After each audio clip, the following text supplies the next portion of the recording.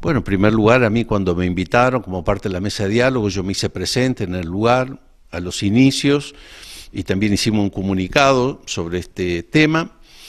Eh, me parece que, y también sé que ha, habido distintos fallos de la justicia, me parece que hay que tener en cuenta todos los elementos, el reclamo es que se mantenga, eh, sobre todo, eh, que se recuerde y que se tenga en cuenta la legislación total, sobre todo sobre los pueblos originarios, la 26.160, la necesidad de, volver a hacer historia y sobre todo la necesidad de que no se de que no haya violencia, que evitemos los atropellos que en estas circunstancias nos demos la posibilidad de reflexionar, de la justicia también que dé, en su proceso, en su marcha, pero que dé una muestra, digamos, de seguir las situaciones y ser sumamente prudentes, porque en esto está la en juego la vida de la gente, ¿no? La vida de los pueblos, la vida de cada uno, una vida es una vida y, sufre toda la humanidad. ¿no?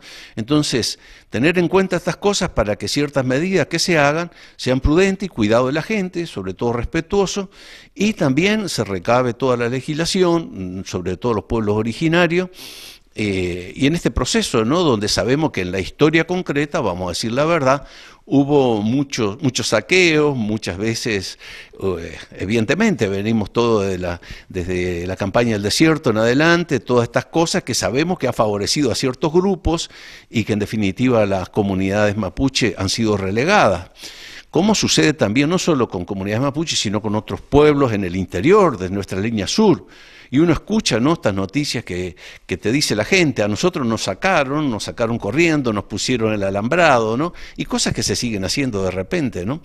Entonces, cuidado a las personas, cuidado a la tierra y que se dirima de fondo estas cuestiones. ¿no?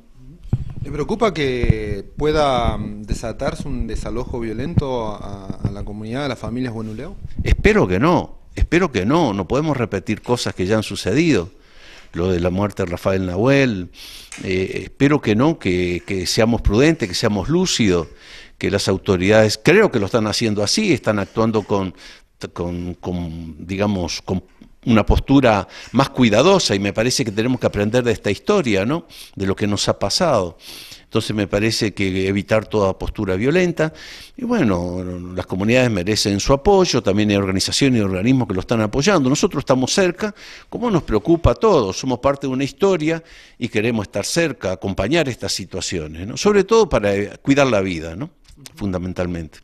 ¿Cuál sería el mensaje ¿no? Eh, también a la sociedad, eh, más allá de la justicia?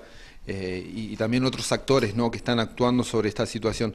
Pero quizá la sociedad, la gente, el común de la gente, ¿no? que, que lo escucha reflexionar sobre este tema. Bueno, a ver, en nuestra historia, para que haya paz y unidad como nosotros pedimos ahí, hay que respetar a los distintos grupos, a los distintos colectivos, a las distintas etnias, y en este país tenemos que convivir en la diversidad. Me parece que eso también nos pasa hoy en día a nivel político y social, es decir, no, yo me, me, torno en dueño y señor de las cosas y excluyo al otro, como alguien decía, ¿no? Ayer y hoy se dice a veces en las redes sociales, no pensás igual que hoy, te borro de mi lista. No ayuda a la convivencia eso, ¿no? Y esto es lo que pasa y que ha pasado históricamente también cuando hay grupos, como ha pasado con los pueblos originarios, que, están entre los más devastados en nuestra historia argentina, ¿no es cierto?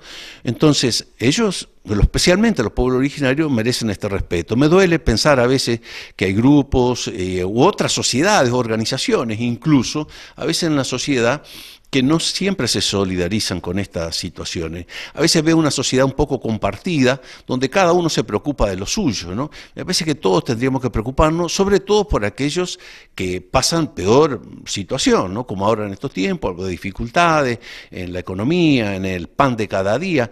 Es preciso llegar a todos, ¿no es cierto? Y especialmente, y ahí es donde se ve la solidaridad. ¿no? A veces me parece que tenemos una solidaridad solamente de los incendios o de las inundaciones, ¿no? Y se ve, sí, nuestro pueblo es solidario. Yo creo que hay recursos de solidaridad, pero hay que despertarlo y hay que activarlo, ¿no? Y eso es el otro, es como piensa, es respetar. y vivir con dignidad la propia realidad, ¿no es cierto? La propia condición, ¿no? Yo, por ejemplo, soy, soy cristiano, soy parte de una iglesia. ¿Qué hizo la iglesia hace 500 años? Bueno, es parte de mi iglesia, pero yo veo qué tengo que hacer hoy, ¿no? Y esto lo digo también para los hermanos, los pueblos originarios y para todos. Y lo que uno trata de hacer es estar cerca de esta situación, acompañar dentro de las posibilidades de cada uno, ¿no? Y también como, como grupo, como institución, ¿no?